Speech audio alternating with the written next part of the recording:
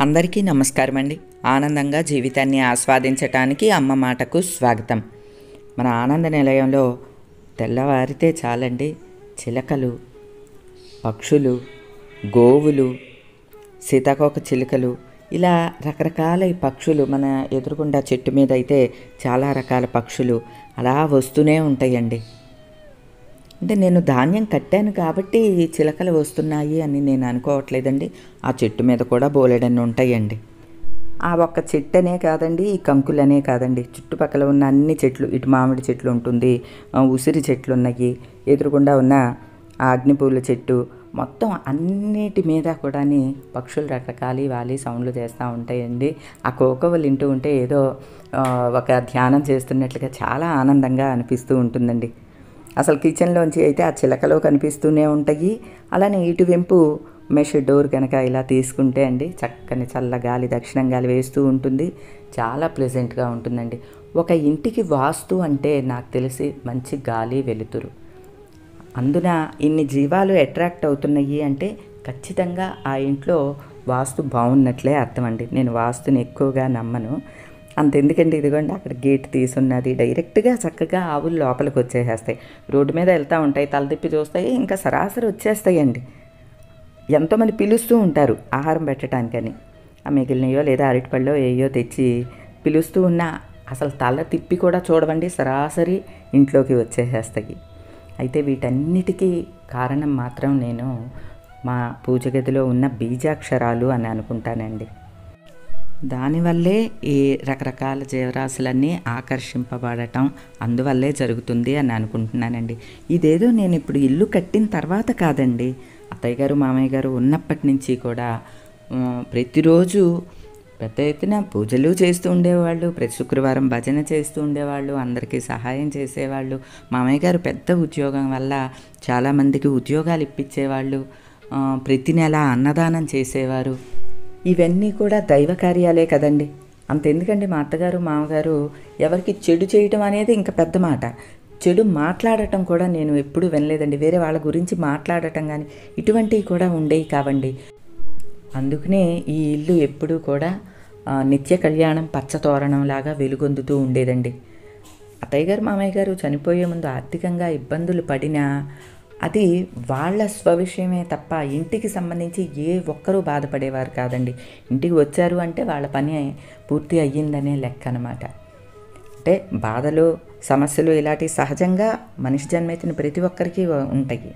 అయ్యి అత్తయ్య గారు మామయ్య గారు అనుభవించినా కూడా ఇంటికి సంబంధించి వారు చేసిన దైవ కార్యాలు ఎదుటి వారికి చేసిన మంచి పనులు ఇవన్నీ కూడా బిడ్డలందరినీ కూడా ఇప్పటి వరకు చాలా బాగా చూస్తూ ఉన్నాయి కాపాడుతూ ఉన్నాయి మమ్మల్ని అందరినీ అని నేను ప్రగాఢంగా నమ్ముతానండి. అలానే మనం కొత్తగా పూజ మందిరంలో నేను కలశం పెట్టుకోవటం స్టార్ట్ చేశానండి. మన సబ్స్క్రైబర్ తెచ్చిచ్చారు కలశం. ఆ కలశంలో బియ్యం నింపి అడుగున ఒక ప్లేట్లో బియ్యం వేసి పెట్టుకుంటున్నాను. పదిహేను రోజులకి ఒకసారి ఆ బియ్యాన్ని మారుస్తూ ఉంటాను. అంటే పౌర్ణమికి అమావాస్యకి తీస్తూ ఉన్నాను అనమాట అండి. ఈరోజు పౌర్ణమి కాబట్టి అందులో బియ్యం తీసేసి దానిలో కొద్దిగా బెల్లం కలిపి ఆవులకి పెట్టేస్తూ ఉంటాను అనమాట అండి. అలానే ఒక పసుపు గణపతి కానీ పసుపు గౌరమ్మ కానీ చేసుకున్నవి ఉంటే అవన్నీ కూడా నేను బయట ఎక్కడ వేసేయనండి. మా బావిలోనే వేస్తూ ఉంటాను. ఏమండి ఇవన్నీ చేసుకోవచ్చా? కలసం పెట్టుకోవచ్చా? పెడితే అందులో నీళ్ళు పొయ్యాలి కదా. బియ్యం పొయ్యొచ్చా అసలు ఇలా రకరకాల సమస్యలు భయాలతో మనం చాలామందిని పూజకి భక్తికి దూరం అయిపోతున్నామండి. పూజ చేసుకోవాలంటే అమ్మో ఏం పొరపాటు జరిగిపోతుందో ఎందుకు దానికన్నా చేయకుండా ఉండటం మంచిది అనే స్థితికి చాలామంది వచ్చేసారు నానంటే కేవలం దానికి భయమేనండి కారణం. ఎవరు ఏం చెప్పినా సరే అది వారి నిర్ణయం వారు చేసుకునే పద్ధతి. అంతే తప్ప అది సిద్ధాంతం కాదండి. పూర్వం మన పెద్దలు పాటించిన సిద్ధాంతాలు ఇప్పుడు మనం పాటించలేము. ఎందుకంటే కాలం అంతా మారిపోయింది. ఆఖరికి కట్టుకునే బట్టల దగ్గర నుంచి తినే తిండి దగ్గర నుంచి ఉండే వసతుల దగ్గర నుంచి మాట్లాడే మాటల దగ్గర నుంచి ప్రతి ఒక్కటి మారిపోయినాయి. అలాంటప్పుడు అప్పటి సిద్ధాంతాలను ఇప్పుడు ఎలా మెయింటైన్ చేస్తామండి? అలానే ఇప్పుడు నేను పెద్ద పెద్ద విగ్రహాలు పెట్టుకున్నా కలశం పెట్టుకున్నా పూజా విధానం కానీ ఏదైనా సరే అది నాకు సంబంధించినదండి. అది ఇదే ప్రామాణికంగా మీరందరూ తీసుకోండి ఇది ఇలా చెయ్యాలి అని చెప్పి నేను ఎప్పుడు చెప్పనండి. ఇలా పెట్టుకుంటే బాగుంది నాకు. మీరు కూడా కలసం పెట్టుకుంటే పెట్టుకోండి చక్కగా బాగుంటుంది. విగ్రహాలు పెట్టుకుంటారా? పెట్టుకోండి. భయపడే వాళ్ళు మాత్రం వాటి జోలికి వెళ్ళకండి. ఎందుకంటే మనసులో భయం పెట్టుకుని మనం భక్తిగా పూజ చేయలేం కదండి. అందుకని. ఇక్కడ నా నేను చెప్పేది అనే కాదండి. ఎవరు చెప్పినా వాళ్ళు చేసే పద్ధతి మాత్రమే చెప్తున్నారు. అది మీరు ఒక్కటి మాత్రం మైండ్లోకి గుర్తుంచుకోండి. దాన్నే ప్రామాణికంగా తీసుకోవటానికి అదేం సిద్ధాంతం కాదు కదండి. ఒకరు అందంగా పూజ చేస్తున్నారు. ఒక దీపాన్ని పిండితోనో మరొకటో మరొకటో చేస్తున్నారు. ఈ ఇలానే చెయ్యాలి అని చెప్పి చెప్పటానికి వీల్లేదండి. అదే ఫాలో అవ్వాలని కూడా లేదు. మన మనసుకి ఎలా ఆనందంగా అనిపిస్తే ఎవ్వరికి చెడు చేయకుండా చెడు మాట్లాడకుండా చెడు దృష్టితో చూడకుండా పరిశుభ్రంగా చక్కగా మనస్ఫూర్తిగా పూజ చేసుకోండి. దాన్ని మించిన భక్తి మరొకటి లేదండి. ఇక అంతే. ఎదుటి వాళ్ళు మన వల్ల ఇబ్బంది పడకూడదు బాధపడకూడదు. కనీసం మన మాట వల్ల కూడా వాళ్ళు చివుక్కుమని అనకూడదండి. అదే భక్తి అండి. అంతే. మీరు దానికి ఫిక్స్ అయిపోండి. ఇక మీ జీవితానికి తిరుగు లేదండి. ఎందుకంటే ఎప్పుడు మన పెద్దలు ఒక సేయింగ్ చెప్తారు. నువ్వు ఏది ఇస్తే అది తిరిగి వస్తుంది సైన్స్ పరంగా కూడా అదే కరెక్ట్ అని చెప్తున్నారు కదండి. అదే ఇంగ్లీష్లో కూడా చెప్పారు what you give to others that returns to you either hate or love ఈ రెండు కూడా నువ్వు హేట్ చేస్తే హేట్ వస్తుంది లవ్ చేస్తే లవ్ వస్తుంది. ఇది మాత్రం మనం ఒప్పుకు తీరాలి కదండి. లేదు ఎదుటి వాళ్ళు తప్పు చేస్తున్నారు అందుకనే మేము చెప్తున్నాము అనంటే వాళ్ళు ఎదుటి వాళ్ళు తప్పు చేశారా ఒప్పు చేశారా మనకు అనవసరం. మనమైతే చెబుతున్నామా లేదా? అంటే ఒక చెడ్డ మాట మన నోటి నుంచి వస్తోందా లేదా? అది మాత్రమే లెక్క అండి. అందరికీ తెలిసిన ఒక విషయం చెప్పనా అండి? మన బాడీ మొత్తంలోనూ మన బాడీలోకి పంపించే ఒక అవయవం ఉంటుందండి. మంచి కానీ చెడు కానీ ఏదైనా సరే. అదేంటో తెలుసా అండి? నాలుక నోరండి. మనం ఆహారం తీసుకున్న మంచిదైనా చెడ్డదైనా బాడీలోకి పంపిస్తుంది. అలానే మన నాలుక అటు ఇటు డోలకంలాగా తిరుగుతూ ఉంటుందంటండి. లోపలికి బయటికి ఇటుపక్క అటుపక్క అంతా కూడా తిరిగి మాట్లాడుతూ ఉంటుంది. ఆ మాటని కూడా దాని పవర్ని కూడా బాడీలోకి పంపిస్తుందటండి. కాబట్టి వీలైనంత మటుకు మంచి మాట మాట్లాడటానికే ప్రయత్నించాలి మనం ఎప్పుడూ అదే మనకి శక్తి అయి తిరిగి వస్తుందండి. మనం మంత్రం చదువుతూ ఉంటాం. లేదా ఒక శ్లోకం ఒక స్తోత్రం చదువుతూ ఉంటాము దానివల్ల ఏమొస్తుంది అని అంటే ఒక మంచి పవర్ మన బాడీలోకి వెళ్తుంది. ఇక్కడ ఎదుటి వ్యక్తి తప్పు చేశారా ఒప్పు చేశారా మీరు కరెక్ట్ చెప్పారా అబద్ధం చెప్పారా ఇవన్నీ అనవసరం. మీ నోటి నుంచి వచ్చే మాట మాత్రమే పరిగణలోకి తీసుకుంటుందంటండి బాడీ. కాబట్టి మనం వీలైనంత మటుకు చెడ్డ మాటలు అన్నవి అవాయిడ్ చేసేయటం మంచిదండి. కనీసం మన మైండ్లోకి రానివ్వకుండా ఉండటం బెటరు. ఎందుకంటే మామూలుగా మనిషి జన్మ ఎత్తామండి. అన్నీ మైండ్లోకి దూరుతూ ఉంటాయి అన్నీ వస్తూ ఉంటాయి. ఎదుటి వాళ్ళని నొప్పించేది కానీ ఎదుటి వాళ్ళని బాధించేది కానీ మన దరిదాపులకి మన మైండ్లోకి రాకుండా జాగ్రత్త పడాలి. అది ఎలా అంటే ఎప్పుడైనా ఎదుటి వాళ్ళని చూసి కొంచెం అసూయ కలగొచ్చు మరొకటి కలగొచ్చు. అలాంటప్పుడు మాత్రం ఏ వాళ్ళకు ఉండేదేదో వాళ్ళకుంది మనకు ఉండేదేదో మనకుంది. కాబట్టి వాళ్ళని చూసి అసూయ పడటం అనవసరం అని మనకి మనం చెప్పుకోవచ్చు. అది ఎవరికి బయట వాళ్ళకి తెలియదు కదండి. మన మైండ్కి మనం సర్ది చెప్పుకున్నప్పుడే అది నెమ్మదిగా మన మాట వింటం బిగించేస్తుందండి. అందుకనే క్రూరంగా ఉండే సీన్లు కానీ క్రూరంగా ఉండే సీరియల్స్ ఇటువంటివి కూడా చూడకూడదు అని చెప్తున్నారు. ఎందుకంటే అవన్నీ అంతో ఇంతో మన మైండ్లోకి వెళ్ళిపోతూ ఉంటాయండి. ఇవన్నీ ఎందుకండి? ఈ పూజలు ఇవన్నీ ఎందుకు? మనం ఆనందంగా ఉండటం కోసం. ఆనందం అంటే ఏంటండి? ఒకటేమన్నా కొనుక్కుంటే ఆనందంగా ఉంటుందా? ఏమన్నా కొత్త బట్టలు కట్టుకుంటే ఆనందంగా ఉంటుందా? అప్పుడు సంతోషంగా మాత్రమే ఉంటామండి. సంతోషం అనేది చిన్నది. ఆ క్షణం మాత్రమే వచ్చేది సంతోషం.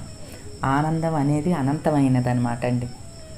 అటువంటి ఆనందం కలగాలి అంటే మాత్రం ఎదుటి వారి గురించి ఆలోచించటం కానీ తప్పులు పట్టటం కానీ తిట్టటం కానీ లేదా వాళ్ళు నొచ్చుకునేలా మాట్లాడటం కానీ చేయకూడదండి. ఈరోజు పౌర్ణమికి చక్కగా రెండు పూట్ల పూజ చేసుకుందామని అనుకున్నానండి. ఉదయం పువ్వులేమీ లేవు. మా వారు బజార్ నుంచి తీసుకొచ్చారు చామంతులు గులాబీలు చక్కగా పూలతో అలంకరించాను. సాయంత్రానికి మా ఇంటి దగ్గర వాళ్ళు పెద్ద పెద్ద మల్లె మొగ్గలు తెచ్చిచ్చారండి. ఆ మల్లె మొక్కలు పెద్ద పెద్ద సైజు ఉండటంతో ఒక్కొక్కటి ఒకదాని తర్వాత ఒకటి సూదిలోకి గుచ్చి వేస్తున్నాను అనమాట అండి. పౌర్ణమి పూజ చాలా ఇష్టంగా చేసుకుంటాను. ఎందుకంటే మాకు కిటికీలోంచి పౌర్ణమి చంద్రుడు కూడా కనిపిస్తూ ఉంటాడండి. కానీ ఈరోజు మబ్బు మబ్బుగా ఉన్నదండి. చంద్రుడు కనపడడు. అదైతే ఫిక్స్ అయిపోయాను నేను. రేపు ఎల్లుండి అంటే పౌర్ణమి మూడు రోజులు ఈ దిశలోనే వస్తాడనుకుంటండి. చంద్రుడు మూడు రోజుల పాటు కనిపిస్తాడండి ఈ కిటికీలోంచి. ఉదయం పూట పడే సూర్యకిరణాలు సాయంత్రం అంటే పౌర్ణమి వేళల్లో పడే ఈ చంద్రకిరణాలు వీటి కోసమనే ఈ పూజ గదిలో పెద్ద కిటికీని పెట్టించుకున్నానండి. ఆ టైంలో పూజ చేసుకుంటే మాత్రం భలే సంతోషంగా అనిపిస్తుందండి. ఇవన్నీ కూడా మనకి మనం స్వానుభవంలో అనుభవిస్తే తెలిసే విషయాలండి. భక్తి అంటే భగవంతుడి కోసం చేసేది కాదు మనందరికీ తెలిసిన విషయమేనండి. నేను చాలాసార్లు ఈ విషయాన్ని చెబుతూ ఉంటాను. ప్రసాదాలు లేదా అలంకరణలు మరొకటి మరొకటి అన్నీ కూడాని అవన్నీ మన కోసం చేసుకునేవండి. భగవంతుడికి సమర్పించేవి ఏం సమర్పిస్తామో మనందరికీ తెలుసు. పుష్పం పత్రం ఫలం తోయం. ఏదో ఆయనకి సమర్పించి మన మనపూర్వకంగా చేసే పూజను స్వామి స్వీకరిస్తారు. అందులో ఎటువంటి తిరుగు లేదండి. స్వీకరించడం అంటే ఆయన ఏమన్నా భౌతికంగా మనం చేసే పూజను రెండు చేతులతో తీసుకుంటారు అని కాదండి. అది ఒక పాజిటివ్ వైబ్స్ మనకి తిరిగి అవే మంచి తరంగాలుగా తిరిగి వస్తాయి అన్నమాట అండి. ఇది మాత్రం ప్రతి ఒక్కరూ గుర్తించుకోండి. అలానే ఎవరిని నొప్పించే మాట కానీ ఎటువంటిది ఏమీ మాట్లాడొద్దండి. నిన్న వీడియో పెట్టాను. మన పెరట్లోకి పాము వచ్చింది నన్ను పెడితే కూడా చాలామంది సంతోషించారు చాలామంది భయపడ్డారు కూడా అండి. నాకు అంత భయం ఏమీ ఉండదండి. పురుగు పుట్ర వీటికి వీటి పట్ల కూడా అంత భయం ఏమీ ఉండదు. ఎందుకంటే మనం కొద్దిగా ఆధునికంగా ఉంటున్నాం కాబట్టి ఇలాంటి ఇళ్ళల్లో ఉంటున్నాము. పల్లెటూళ్ళలో ఉండే వాళ్ళందరూ ఆ చెట్లు పొట్లు వాటి మధ్యన ఏ పురుగు పుట్ర పాములు అన్నీ ఉంటాయి. కానీ వాళ్ళ జీవనం అలానే గడుపుతూ ఉన్నారు కదండి. అలానే మనకి కూడా ఏంటంటే ఎక్కువ భయం వలన ఎక్కువ ఆలోచిస్తాం. అంతే అండి. నాకు అంత భయం ఏమీ ఉండదు. ఇన్ కేస్ అటువంటి ప్రమాదమే ఉన్నా కూడా మన నుదుటి మీద రాసి ఉన్నది ఎలానూ మనం తప్పించలేమండి. కదా? ఎక్కడ ఉన్నా సరే అది మనం ఇక్కడ చాలా జాగ్రత్తగా ఉండి బయటికి వెళ్ళినప్పుడన్నా పెను ప్రమాదం సంభవించవచ్చు అంటే మన నుదిటిన ఉన్న గీతని మనం తుడుచుకోవటానికి మార్చుకోవటానికి వీలు ఉండదండి అదల్లా వీలయ్యేది ఒకే ఒక్క పనితో. మన మంచి ప్రవర్తన మనం ఎదుటి వాళ్ళకి ఇచ్చే దాన్ని బట్టి మాత్రమే మన లైఫ్ మన బిడ్డల లైఫ్ ఆధారపడి ఉంటుందండి. ఇది నేను బాగా నమ్ముతాను. అందుకనే మీ అందరికీ ప్రతిసారి చెప్తూ ఉంటాను. పౌర్ణమి పూజ ఈరోజు చాలా ఆనందంగా జరుపుకున్నానండి. చాలా బాగా చేసుకున్నానండి. ఎందుకంటే ఆల్మోస్ట్ ఈ రోజంతా కూడా పూజ గదిలోనే గడిపినట్లయిందండి నాకు. ఒక్కోసారి ఎందుకో అలా అసంకల్పితంగానే ఇదేమీ కావాలని ఎక్కువసేపు ఉండటం అట్లేమి ఉండదండి. ఒక్కోసారి అలా ఎక్కువ టైం గడుపుతూ ఉంటాం మన మనస్సుని బట్టి. అంతే అండి. ఎక్కువ బాధగా ఉన్నా ఎక్కువ ఆనందంగా ఉన్నా కూడా భగవంతుడితోనే షేర్ చేసుకోవటం నాకు అలవాటండి. అది మనకి చాలా మంచి పద్ధతి కూడా అండి. మనుషులకి ఫోన్లు చేసి మాట్లాడి మనం ఏం షేర్ చేసుకున్నా తప్పే అవుతుందండి. మంచి చెబితే అంటే ఆనందంగా చెప్పేదేమో గొప్పలు చెప్తున్నామని అనుకుంటారు. బాధలు చెప్తేనేమో కొంచెం చులకనగా చూస్తారు. కానీ భగవంతుడితో షేర్ చేసుకుంటే మాత్రం ఈ ప్రాబ్లం ఏమీ ఉండదండి. కాబట్టి మన ఫ్యామిలీలో అందరూ కూడా ఈ విషయాన్ని కూడా గుర్తుంచుకోండి. మీ ఆనందం దుఃఖం ఈ రెండు కూడా ఎవరితోనూ షేర్ చేసుకోవద్దండి.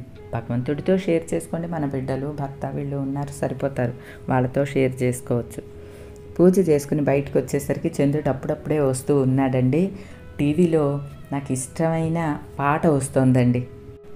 ఇది ఆత్మగౌరవం సినిమా అండి. ఈ సినిమా మొదట్లోనే కొంచెం బాగుంటుందండి. తర్వాత నాకు అంత నచ్చదు ఈ సినిమా యాక్చువల్గా.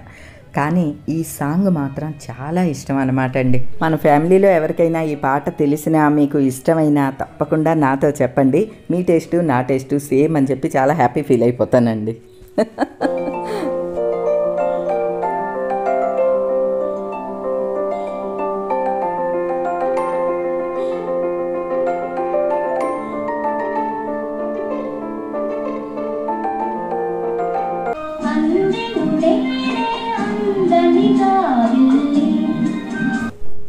ఈ పౌర్ణమి రోజున మనసుకి నచ్చినట్లు రెండు పూట్ల చక్కగా స్వామిని పూజించుకుని మనసుకి నచ్చిన రెండు మాటలు మీతోటి షేర్ చేసుకుని మనసుకు నచ్చిన ఒక పాటను వింటూ ఉంటే చాలా ఆనందంగా ఉందండి ఈరోజుకి ఇదే.